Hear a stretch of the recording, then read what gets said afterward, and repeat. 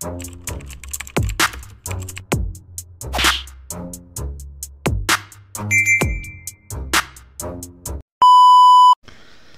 what's up, what's up mga kumag, I'm back ang inyong online judge. So ang iba kundi judge, Jinan. Okay guys, wala na tayong face mask. Pero kitang kita nyo pa rin, no? Kung, uh, kung napansin, kung, kung napapansin sa camera na may mga konting sugat pa rin sa aking lips, no? So, ano to eh, uh, I don't know kung sunburn or Diba? So, singaw, I don't know. Pero nung last week is sobrang namamagayan kaya uh, napilitan ako mag face mask habang gumagawa ng content. Pero ngayon medyo humupa naman na. Kaya ayun, welcome back sa No Face Mask Judge Jinan. Okay. So ayun, Mzite versus Zenlook. Uh, so far, wala naman nag-request ng battle na to. Pero ako kasi gusto ko siyang mapanood. Kasi uh, may mga uh, gusto kong sabihin sa ano na to sa sa battle na to kasi feeling feeling namin hindi lang ako ah feeling namin nagpigil si Mzite sa battle na to eh. I don't know pero tignan natin ah uh, online kung masasabi ko pa rin talaga na ganun kasi nung napanood namin to ng live ayun talaga yung comment naming mga nanood no uh, na nagtipid na nag uh, I mean, hindi to modo, parang ganon. Ganon yung comment namin. Pero tignan natin. Or baka masyado lang malakas si Zenlook sa gabi na to nung ano nung battle na yun. Pero yun, tignan natin ha, tignan natin. So, yun, Mzite versus Zenlook. Game. Dapat, pakinggan natin to unang banat. Vuelta Palentong 11. Mzite. Isang tuyong dahon, mga puno. Sa... Isang tuyong dahon, mga puno. Sa mga alon na natuto. Malulumo pagkahubog sa panuto, kalaguyo ang damuho. Sa salubong, manununo. Pag naturo at natutok, sa saludo. Madudumog, kung ito mapanuyo, pues ito marahuyo. Hmm. Walang meaning yon. Nilagyan ko lang ng flow at tugma para tunog malalim. At bakit ko napiling gumanon? At least alam mo na kung ba't sila magre-react sa'yo sa mga sasabihin mo ngayon. Flip top! Okay. Ang ganda nun eh. No? Isa yun sa mga masasabi kong uh, magandang trap na sinet ni, ni Mzite. Ang ganda nun, nung napanood ko to nung live, sabi ko, tang na yari sa MC ano dito, yari si Zenlock dito kasi naglagay ng trap si, si Mzite umpisa pa lang ng round niya na na ginaya niya no ginaya niya yung style ni ni Zen Luke sa umpisa ng round ilang ilang lines yun? 8 diba? Naglagay siya ng ganon. Tapos nagreact yung crowd. Kumagat yung crowd dun sa ginawa eh. Ginawang trap ni, ni Mzite at dun sa pagkagat ng crowd na yon yun na yung hudyat para para gawing trap yon kay Zenlook. So, nung napanood ko yun, napakinggan ko yun, sabi ko, yari si, yari si Zenlook dito kasi uh, magiging alam mo yun, yung mawawalan ng ng bisa yung mga sasabihin ni ni Zenlook dahil sa ginawa ni Mzite eh. So, para sa akin, tangin na ang gandang trap nun eh. Pero, yan, tignan natin ah, mamaya kung ano yung uh, ano, gusto ko na kayong spoil pero sige. Lilo muna tayo. Pero ang masasabi ko lang doon, sobrang tindi ng trap na yon no na kumbaga umpisa pa lang or hindi pa lang hindi pa nagi spit si Zen Luke uh, tinatanggal na ng karapatan ni MZ yung ano eh, yung mga verses niya eh, na maging ineffective di ba so ganun ka ganun kalakas yung ano na yon yung trap na yon para sa akin kung ba't sila magre-react sa'yo sa mga sasabihin mo ngayon. Flip! Handa na ba kayo? Siya nga pala si Saint Luke, ang makatang propetang virgin ng Cagayan de Oro. Mukhang malambing pero tuwing nakakakita ng bikining bitin yung ngiti, para yung demonyo. Isa kang malanding elemento. Yung mga post pa nito, dati puro love quotes lang ngayon, puro memes na tungkol sa kantutan. Tapos nung nakasa yung laban namin, pilit niyang tinatabunan. Share naman siya ng mga kanta ng wutang. Pati battle rap ginawang parausan. Mga banat niya, daig niya pa daw paring ng molestya sa loob mismo ng simbahan. Kadiri naman. Parang matres na mga lola, di na magkakaroon ng buhay, naisip niya yan. Parang bahay bat, parang bahay aliwan, bawal ang menor. Utak mo parang madre, hindi na nadidiligan. Si Plasma daw tinitira si Enigma, boss. ano to? Hindi na napigilan nung binigyan ng break? Pagiging lyrical ay fake. Pinili na lang maging rapper kasi illegal ang rape. Virgin na manyakis na ang target, mga alagad ng Diyos. Rapist. Solo mo yung titulo na yan, walang balak makiagaw. Panay pa ang gamit sa gulong ng palad. E buti pa yon minsan nasa ilalim, minsan nasa ibabaw.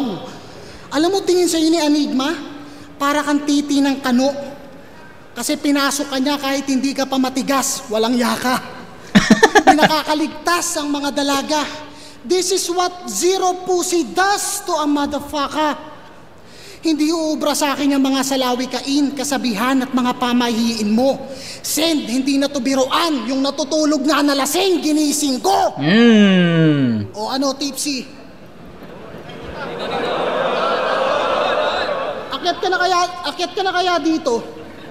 Alam ko gusto nyo na rin talaga. O ang tanong, tangina mo, kaya mo ba kaming dalawa?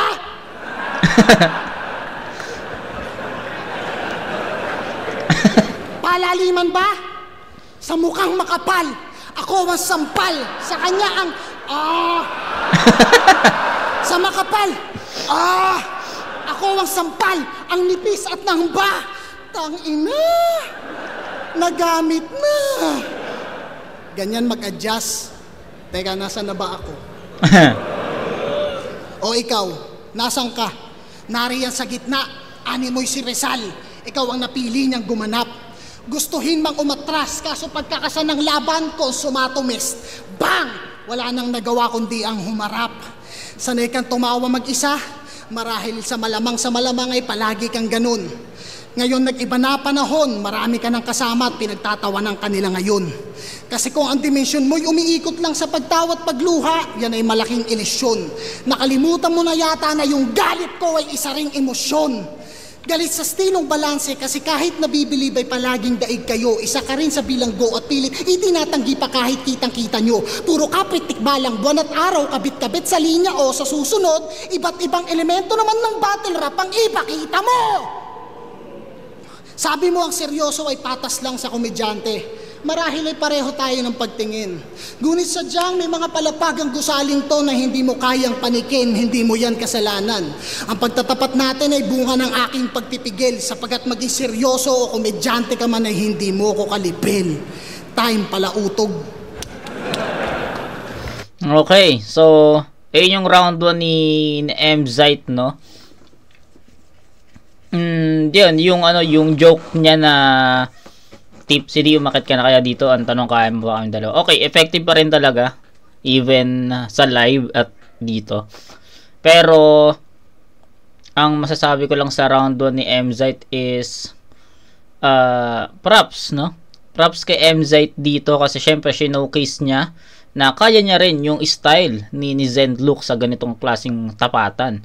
Uh, napanood na natin si MZ na lumaban kay Emar, 'di ba? Sobrang dikit ng battle na 'yon. Sa pagkakalam ko 3 to 'yon in favor of ano? 3 to ba 'yon? So, hindi ko na matandaan eh. Napanood ko rin 'yon, napanood ko rin 'yon ng live eh. Uh, pero uh, marami nagsasabi na eh, na Emar daw 'yon. Pero ako para sa akin MZ talaga 'yon eh. Uh, etong battle na to, round 1 ah. Uh, sabi ko nga sa inyo, ang ganda ng sinet ni ni MZ na trap doon and tignan natin kung kakagat si si Zenlock doon sa round na sa round 1 niya. Pero uh, yung uh, concept ng uh, ng round 1 ni, ni MZ para sa akin, hindi siya ganun ka-effective o hindi siya ganun ka-effect uh, epektibo kay Zenlock kasi um, hindi niya para sa akin lang ha, hindi niya na higitan yung style ni Zendlook eh. Kasi kumbaga, pumasok si, si MZ sa style ni Zendlook eh. Tama? Tama. So, ang kailangan gawin ni, ni MZ doon is kailangan niyang uh, ma-showcase which is ginawa niya, na-showcase niya pero hindi niya naangatan yung uh, ang reference ko dito yung mga past battles ni Zenlook ha. Hindi pa tong ano, hindi pa tong round 1 niya kasi di pa naman natin napapakinggan. Pero sa tingin ko, sa ginawa ni, ni MZ sa round 1, hindi enough dun sa mga past battles ni Zenlook eh. 'Di ba? Kasi iba yung uh, level ng uh, performance ni Zenlook sa past battles niya. Laban niya kay Target sa PSP. Tang ina kakaibang Zenlook 'yun, men. 'Di ba? So, props kay MZ nagawa niyang uh, gampanan yung uh, estilo ni Zenlook pero I think hindi enough para matalo yung yung Zenlook na may na may solid na round eh, 'di ba? So ayun, ngayon papakinggan natin. Pakinggan natin yung uh, round ni, ni Zenlook. Kung mali ako, bigyan natin kay MZite, walang problema. Pero kung makikita natin na yung round 1 ni, ni Zenlook dito is katulad sa mga past battles niya, kay Zenlook pa rin yun. Yeah. Unang banat, pakinggan natin. Ako'y kawal na maliit, alagad lang at kampon. Pero kung di old god o veterano ang binibigay sa akin ay kampyon. Hmm. Dos por dos, isa buhay, tryouts, ikay nasa taas ng paliparan. Kaso lahat ng nasa taas, binababa at yun ang batas ng kalikasan. Nasa punto ka ng buhay mo kung saan wala ng punto ang buhay mo. Kalaban dapat nito, tipsy Dio, six street. Ba't na kay Lucas to? Galing sa taas, bumababa. Mahina ang lakas. Sigbintong hayop na to, naglalakbay siyang paatras. Third D o Class G gusto kong kalaban. Ako'y napakatuso. Pero ba't ko pa iisa-isahin yung bunga kung pwede ko naman putulin hmm, na yung puno? Hmm, tang ina. Ayun. Isa sa mga tangina, isa sa mga bumura isa isa sa mga linya na bumura sa ano sa or tumapat sa buong round ni ni Mzite yung linya na yun ni, ni Zenlook ay na solid yun bunga kung pwede kalaban alakbay siyang paatras Third D o Class G gusto kong kalaban. Ako'y napakatuso. Pero ba't ko pa iisa-isahin yung bunga kung pwede ko naman putulin na yung puno? Ang galing. Dating simple lang bumara, naging komplikado bumitaw. Nagkampiyon nung naging malalim ha, hindi na yan ikaw. Hindi na yan ikaw. Nagkampiyon nung naging malalim, hindi na yan ikaw. Nagkampiyon nung naging malalim, hindi na yan ikaw. Panggagaya, karumihan ng panggagaya, pandurugas inaatupag. Iba ang may luntian na pag-iisip kumpara sa berde lang ang utak. 3GS, nagsusulatan. Matagal nang alam siyan. Mananalo ka lang sa akin kung nagpasulat ka kay Slakwan. M-Site versus Lipcram. M-Site versus Lipcram. 50-50. Di na ako nagulat. Hinati-hati nyo na lang yung premyo. Total naghati-hati rin kayo sa sulat. Mm. Baka sabihin mo, magkagrupo naman kami. Lucas, di mo lang alam. Di mo kailangan magpaliwanag ako'y nocturnal na nilalang. Matalas mag-obserba. Huwag mo ko pilit din langin. Kung ikaw nababad ka sa ilaw, ako nakakakita sa dilim. Letra pang dugyot, abakada pang mangmang. Parang sirenang nasa selda yung mga bara masangsang. Agresibo, dilat mata, kung ano-ano ang binuboka. Ako buwang natunay, ikaw baka epekto yan ng droga. Hmm. Umiindak pag nakabatak, dakilang sa buwista. Tumatalon sa kada palo, parang balibolista. Kinain dahil masiba, di makitang bitamina, kilawin ka rin sa aking talim Puta. na hiwa-hiwa. Hinagisang dinamita, hinagpis at pighati, palihabin, pasiklabin, mali-mali ang tinahiya, tinagpinang dilalinya, trima pila-pilang hinaing, na pinabida. Ever ready, itim na pusa ang galaw, kahit maging Russian cat o Persian cat ka pa, gagawin ka lang siomay sa Mindanao. Ibubulgar ko kung gaano sa kahina, malabiblia lang ngayon, Pagkat yung mga verso ni Lucas tumalon na sa revelasyon. Lagpas ba ng dalawang minuto, di mahaba pinaglalaban, nilalakihan ko lang yung lapida para sa may malaking pangalan. Yeah! Ayun. So, yung trap na gina... Ito, ito na. Ano ko na, isabihin ko na sa inyo. Yung trap na ginawa ni MZ dito na ano yung sabi niya na ngayon alam na namin or alam alam mo na na na magre-react sila sa mga ganong bara, 'di ba? Yung ano ni sinet ni ni MZ kanina. Para sa akin is naging useless 'yun eh.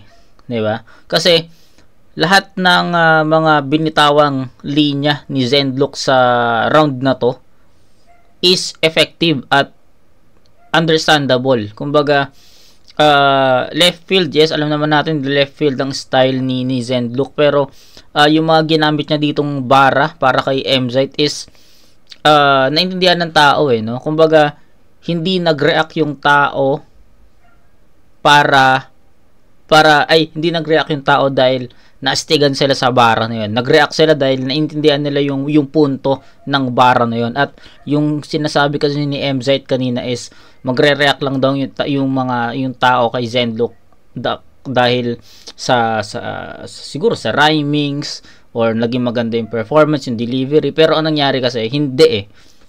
Kasi mas na-deliver ni Zenlook plus yung punto niya is nandun.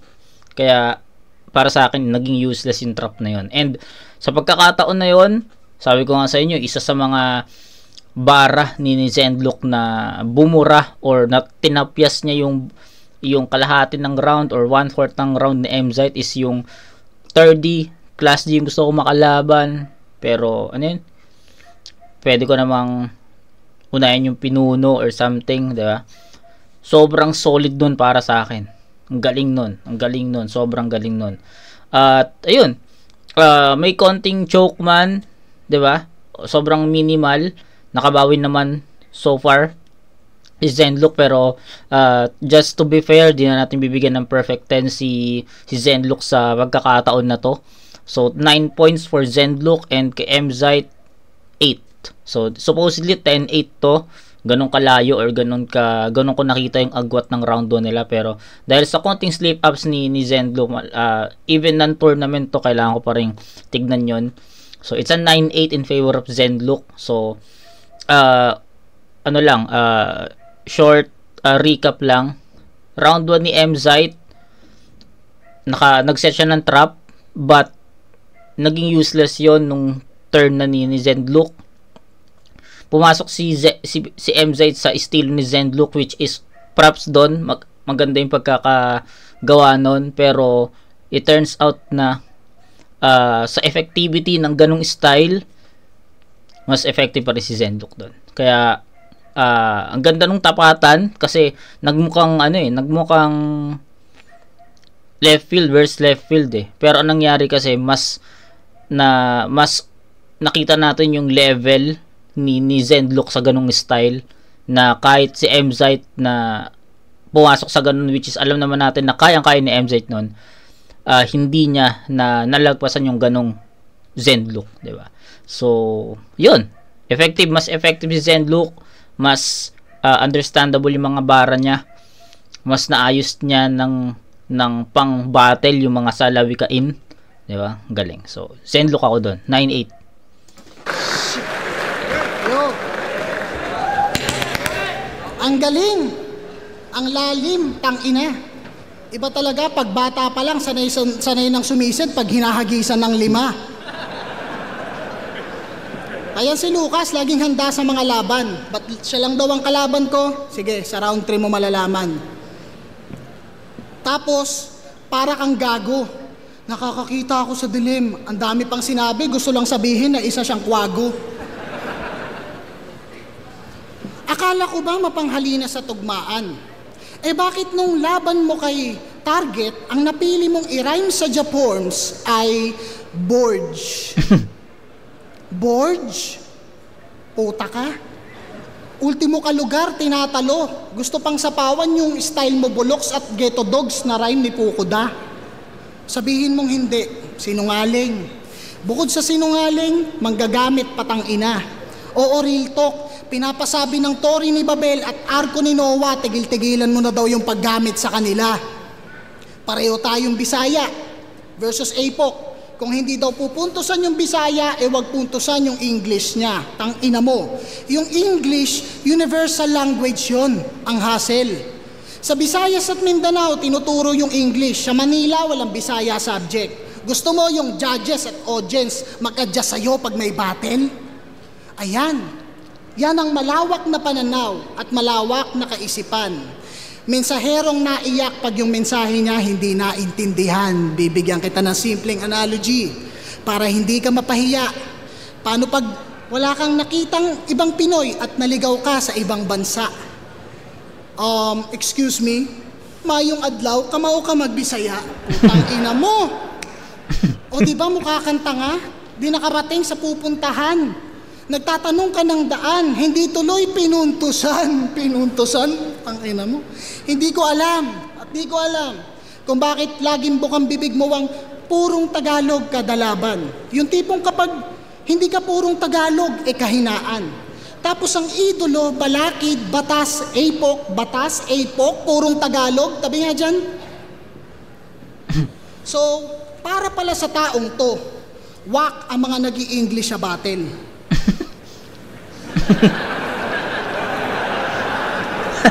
Gago to. Mag-explain ka kay Arik. So paano pag yung reference scientific? O sige, anong Tagalog ng deoxyribonucleic acid? At putang inang pormahan yan. Sablay. Iba't ibang kulay, parang hay na hay. Ikaw ang dahilan kung bakit tinatawag tayong bay na bay. Sa mga purong Tagalog na nanonood dyan, Kuya Kibs, atras ka. Hindi porket Bisaya, eh ganito na pumorma ha. Tigil-tigilan nyo yung paggamit ng term na Bisaya para mang-ape.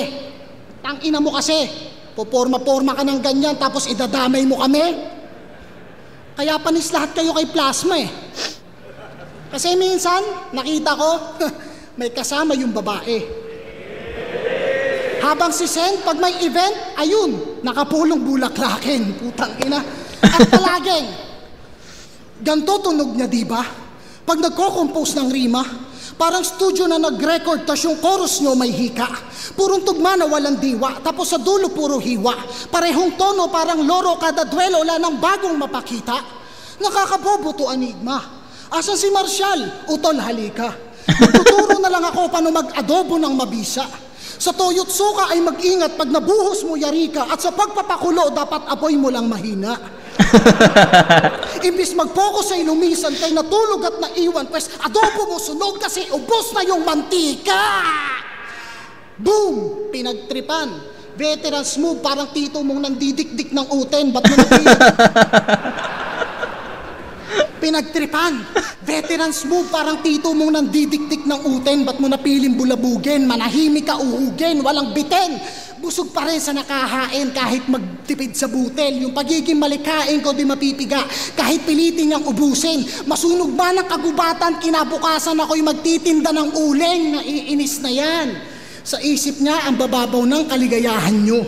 nag expect yan ng pataliman, patalasan, patalastasan, pwes hindi yan ang pakay ko. Nilain makna, in-style mak pa. Mm. O bakit? Sino kayo para ipagbawal to? Ganyan kasama ugali ko, pinapatay kita sa stilong pinakaayaw mo. Mm.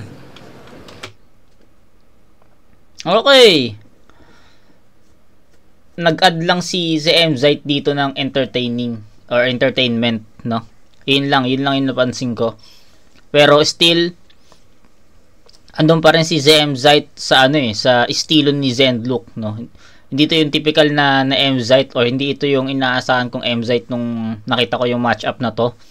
Kasi akala ko magka akala ko magkakaroon ng style clash eh, which is yung nameplay, bars, 'di ba? Ayun yung ganun natin nakilala si M-Zite. Pero nagulat ako nung pumasok siya Actually, ito to be honest guys.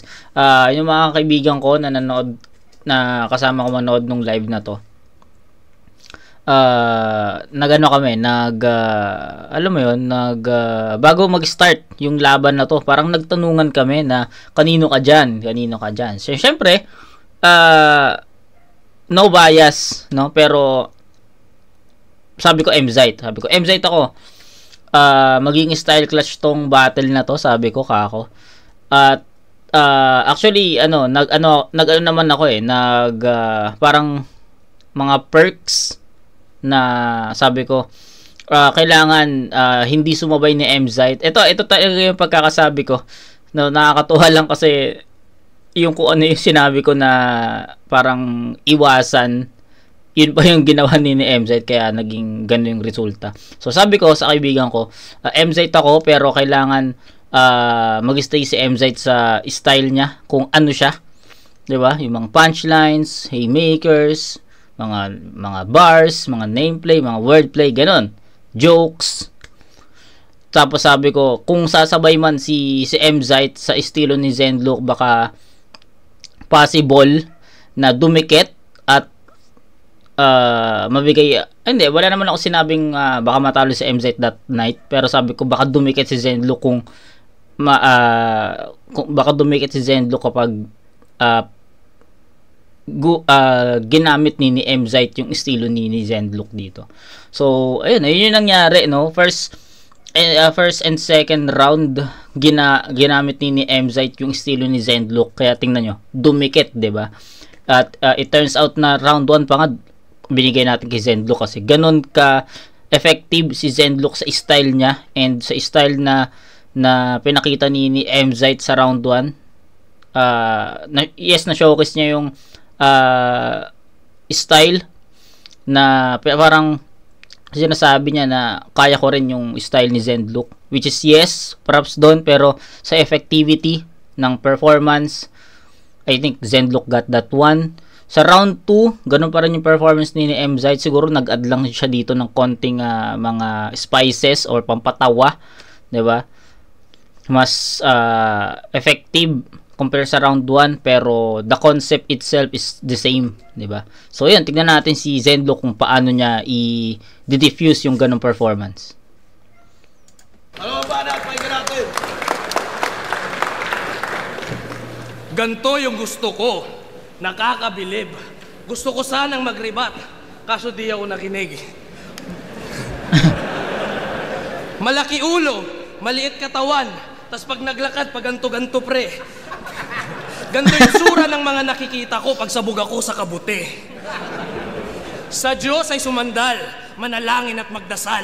Gagawin kitang pasalubong sa tropa kong si Baal. May anak at may asawa, pero hindi pa siya kasal. Sa demonyo kita iaalay, ganun kita ihaharap sa altar. Luma, wala kang bago na nabuo. Maraming kaparehas, laban ang baon niya ay lumpo. Sarado ka, o Diyos ko, yan ay klaro na ng husto. Ang sansinuko ba'y bilog, pero bakit kwadrado ang iyong mundo? Sabog sa sobrang lakas yung pandinig sa rap ko. Putol yung tenga dahil sa sining na parang Van Gogh. Gun bars pa ng gun bars. Wala nang magandang inaatupag. Puro bakal nasa isip kaya kinakalawang na yung utak. Ako, suntok lang ng suntok. Sumasapak ang kada bara. Manong-mano kada letra na parang telegrama. Salita ko'y masama. Makasalanan na tunay. Parang baboy ramon na sa bibig ang aking sungay. Mm. Ganda yan. Nung binigay ka ni Enigma, ako'y nagpakatamad sa kabatugan. Di ko pinanood ang battles mo, lakong anggulong matututukan. Paano puro squatter, nakaw asawa, kadugyutan lang ang matutuunan. Tsaka na kita pag-aaralan kung meron na akong magandang matututunan.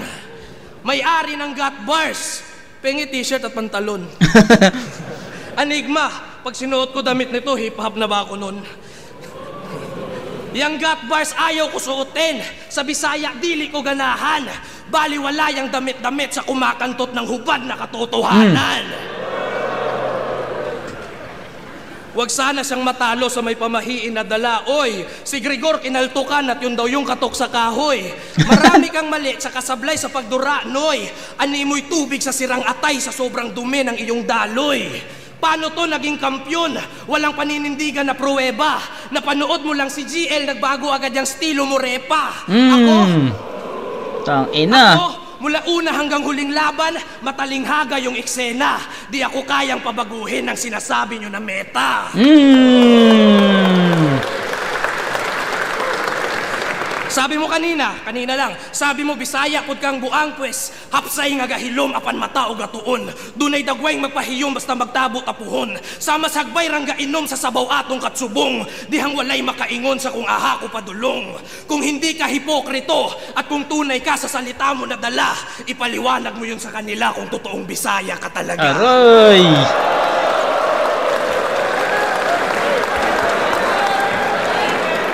Tang inang second half yan.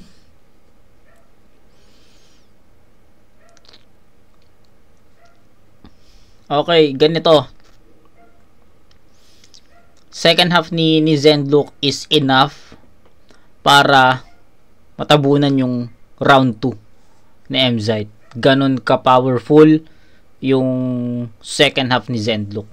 Yung first half is slow start eh.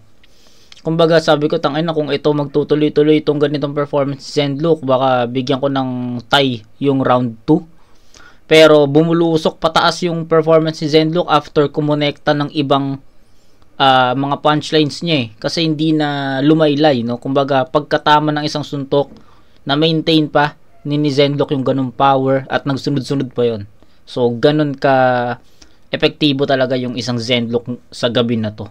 Tangina. Solid, solid, men. Pero, uh, sayang, kasi uh, kung ano yung start ni Zenlock sa round 1, hindi niya naulit sa round 2.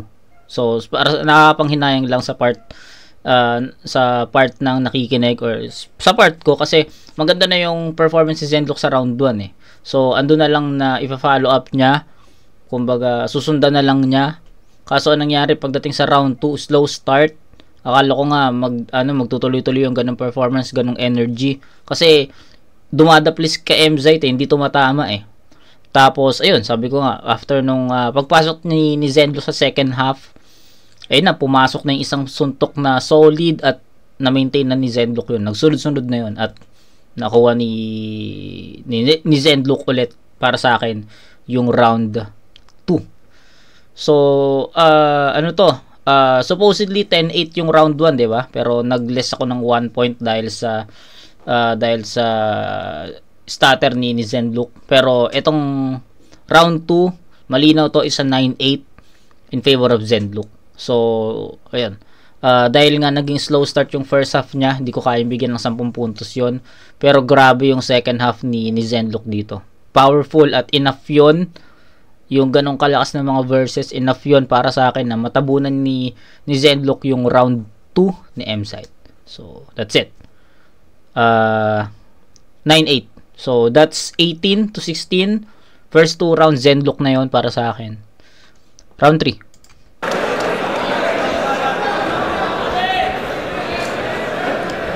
Tangina. Parang tanga naman to. Di daw ako kasal? Anong tawag sa ganto? Palibasa, virgin ka pa. Tangina ka. Dapat trans ginagawa rin ng translator oh. Tanga yung pagiging Bisaya ko nasa dugo, hindi sa salita. Hindi naman ako tumira sa Bisaya. Sira ulo ka ba? Gusto mo ng gat bars? Sige, papadala ko. Sino gusto makisabay? Pag sinuot mo yon, hindi ka magiging hip hop. Ang tawag na sa'yo, barabay. Versus Harlem. Hindi daw nakakakumbinse yung pagbabalik parang si Heso Kristo. At sa mismong battle din na yon, kakausapin daw ng Diyos gamit apoy parang si Moises. Napakatarantado na ito. Minsan si Buddha, minsan Ehipto. Ano yan? Hindi kumbinsido pero panay ibanghelyo ang berso. So paano ngayon? Christian ang kalaban. So antikristo ka naman. Mababago ang kwento. Basta ako, isa lang, derecho, walang pinaniniwalaan, pero eto, siguradong papasok sa templo. Akala ko ba, kapag solido ang paniniwala ay madali lang malinlang? Mukhang mali ka bata. Senyales ng madaling malinlang, pabago-bago ng paniniwala. Na kapag kabuti lang, feeling niya siya na yung inatasang pantas sa panahong to. Gusto mo ng baliwan? Mamaya backstage paramihan tayo ng nalalaman sa mundo. Hmm. Kargado din to ng paaralan. Masinubog lang ng lansangan Malalaman mo ang tunay na halaga ng buhay pag napakapit ka sa patalim na makalawang. Alam mo sinong kaibigan, sinong kalaban, makipaggamitan para sa pakinabang. Hindi ko yan nakuha sa mga aklat, sa kalye ko yan naranasan. Habang eto, sa butas ng misteryo may lihim na pagtingin na kasilip. Kakagigil. Kala mo talaga yung mga pilosopiya niyang alam siya mismo nakaisip. O di ba't wala kang intensyong manalo? Ang nais mo lang ay magtanghal. Gumawa ka ng music. Kaso nung pinakinggan ko mga kanta mo, parang hindi mo rin intensyon na mapakinggan. Eh kung tutuusin nga, mas walang pressure sa inyo para to. Para, para sa inyo, mas walang pressure to. Isipin mo, pag walang nag-react sa'yo, pwede mong sabihin, oh, di nila gets yung lalim ko, ang bababaw. Gusto nyo lang kasi sa Joker. Pero pag sa mga Joker, walang natawa, sa mga teknikal, walang wo. Minumura kami sa comment. Kaya pa na yan, simpleng bira nyo sa mga well-rounded. Mind conditioning, kesyo sakto lang, hindi daw solido, mga puntong walang kapararakan. Mga puntong walang kapararakan. Talagang titirahin nyo ng patalikod pag hindi kayo nananalo ng harap-harapan, mga ulul. Kung ang battle rap ay malaya, ba't kayo naglilimita ng mga estilong dapat hangaan? Mga nagmamalaking magaan, isang kilong bulak sa timbangan, hindi pa nga makapantay, gusto na maging pamantayan. Ano? Narcissist ka? Mataas tingin mo sa iyong sarili? Sige at alamin anong tunay. At yun ay, matapos kitang ibigti, eh kaluluwa ka na lang na nakatingin sa katawan mong binawian ng buhay. Ano? Narcissist ka? Sa'yo umiikot ang mundo? Walang panama sa komedya at siya wasak kapag lumetra. Paano hindi mayayanig? Eh ang binabag sa kometa, ano? Narcissist ka? Ako ang dahilan kung ba't may laban ka ngayon kasi pwedeng pwede kitang hingin pero hindi mo ako pwedeng hamunin. Kaya kong makipagpalaliman sa iyo at gawing seryoso to, kaya din kitang tarantaduhin. Ako, sa ayaw mo sa gusto ako magdidikta ng laban, pwede kitang padikitin, pwede ding wasakin. Ibig sabihin, ang kapalaran mo ngayong gabi nakadepende sa akin. Ano? Kayo ba mga bago dito? Mga umaasta na walk ngayon may tulog na. Pag ako nagpasa ng apoy kay matututo at matutusta. Kundi mo matutumbasan ni kay matutumba. Veterano na to boy. Di ka ubra. Ultimo sa palakasan ng may hawak ng sulo. Presi Snoop Dogg na. Tsaka ka na umastang big man sa laro kapag yung tira mo, di nakapos. Tsaka na kayo mag future-future ng battle rap, utoy yung ira ko, di pa tapos. Kaya, kaya ko mag-apoy kung kailan ko gusto. Hindi ko na kailangan ng torch. Tsaka ka na mangaral, marami ka pang pagdaraanan sa larangang to. Borge. Okay, so ayun. Proceed tayo sa round 3 ni Zenlook. Proceed muna tayo.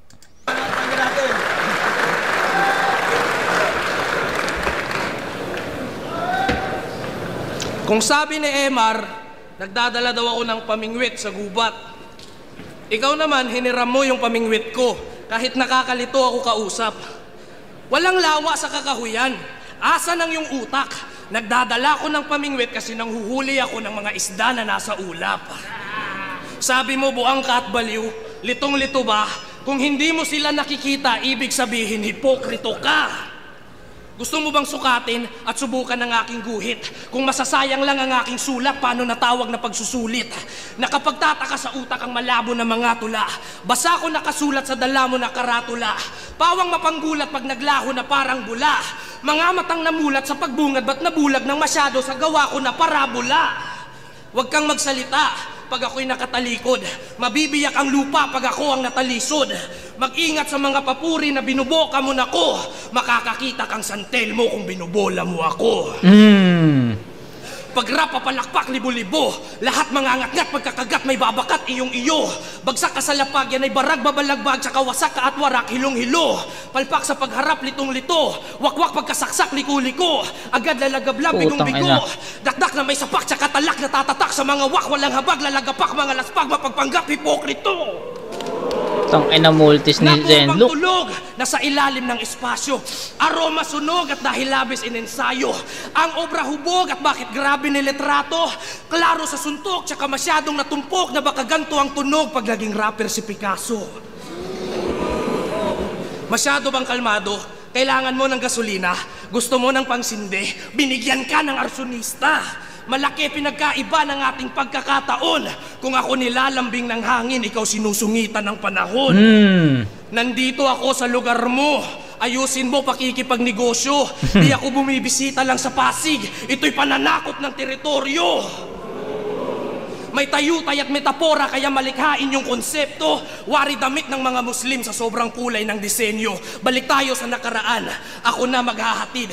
Di ka na dapat pasindihin, total matagal ka ng manhid. Nung nagkampiyon kayo sa dos por dos, si Shernan lang ang nagtawid. Ikaw ang nakatatandang taguro, nagpapakarga sa kapatid.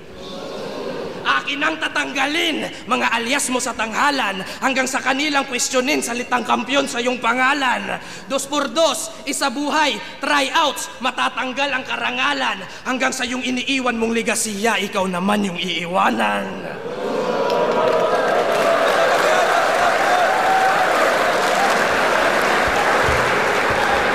Vuelta Balentong 11. Okay. Zen look, men. Zen look. Ah... ah, para sa akin, hindi siya naging style clash, sabi ko nga sa inyo. So, I thought, 'di ba? Sabi ko, akala ko magiging style clash yung battle na to kasi Mzite yan. Alam natin yung pinaka-steal niya sa battle. Then Zenlook, alam din natin yung steal niya sa battle. Pero ang nangyari, sinubukan ni ni Mzite na talunin si Zenlook sa estilo na ginagawa niya. Kaso, anong nangyari, ibang klaseng Zenlook yung bumatel sa gabi na to. At props sa pagpasok ni ni Mzite sa estilo ni ni Zenlook. Maganda yon Props doon na showcase niya. But I think that's not enough to beat Zenlook sa pagkakataon na to. Kasi ang ganda nung pinakita ni Zenlook dito. Ah, hindi bumaba yung energy niya unlike kay Mzite na ah, may mga bitaw siya dito na sablay, may may mga bitaw siya dito na magaan, may mga bitaw siya dito na okay, 'di ba? Unlike kay Zenlook, yes, ah, sanay na tayo sa performance ni Zenlook na left field o sa lawikain pero ma- ma-amaze ka pa rin kay Zenlook kung paano niya ginagamit pang battle yung mga ganong ano eh, mga ganong ah, salita. Unlike uh, si Mzite, yes, nagpakita siya ng bago. Pero anong nangyari, yung, yung pinakita niyang bago na yun is hindi naging enough para tapatan yung Zen look. 'Di ba? So yun yun lang naman, ganun lang kasimple. So pero para sa akin ang pinakamalakas na round ni, ni Zenlook is yung round 1. Supposedly 10 nga yun eh. Pero 2 and 3 para sa akin is uh, almost the same kaya 9 points pa rin ang ibibigay ko kay Zenlook sa round 3. Then kay Mzite triple 8 yun. Hindi naman uh, consistent naman si Mzite eh from round 1 to 3. Hindi rin naman bumaba yung energy niya from round 1 to 3. Ang nangyari lang is nakita lang natin na mas effective si Zenlook sa ganung estilo compare kay uh, compare sa paggaya ni MZ sa estilo ni ni, ni, ni Zenlook. Sorry. So, yun, yun lang, ganun lang kalinaw. Ganun lang kasimple yung magiging uh, hatol ko sa sa battle na to. So, all three rounds Zenlook 27 to 24. Zenlook ako dito. M-Side versus Zenlu. Mag-iayos pambeses para sa kanilang pareho. Ang boto ng hurado, 5-0. Magigay para kay Zenlu.